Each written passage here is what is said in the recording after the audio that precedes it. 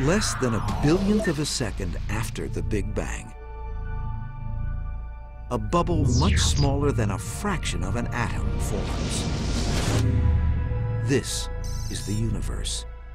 It is unimaginably small and unimaginably hot.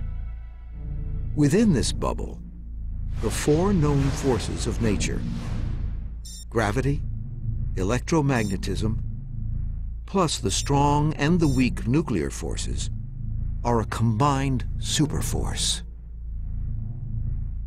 Gravity suddenly splits off from the superforce as the universe expands.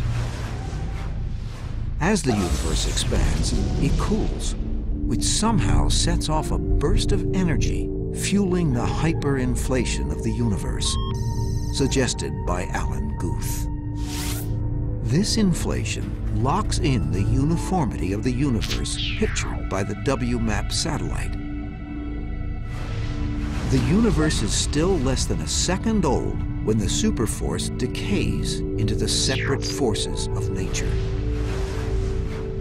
Roughly three minutes after the Big Bang, the temperature of the universe has dropped to a mere 1 billion degrees Fahrenheit, cool enough for atomic nuclei to form.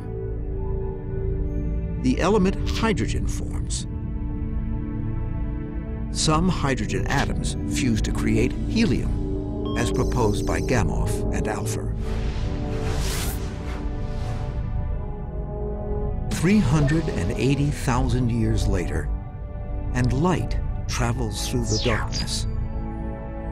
The burst of radiation that Penzias and Wilson found happens now. A billion years after the Big Bang, stars take shape, producing the heavier elements like nitrogen, oxygen, and carbon, as Hoyle predicted. Roughly 9 billion years out, matter and gravity combine to form a perfectly typical star. Pressure creates heat at its core. This heat triggers thermonuclear fusion. A star is born. Stellar outflow clears away residual gases. A circumstellar disk of dust remains that eventually accrete into an entourage of planets and moons. One of these lumps of stardust, after being pummeled for eons by residual solar debris, has temperatures warm enough to allow water to build up in the atmosphere.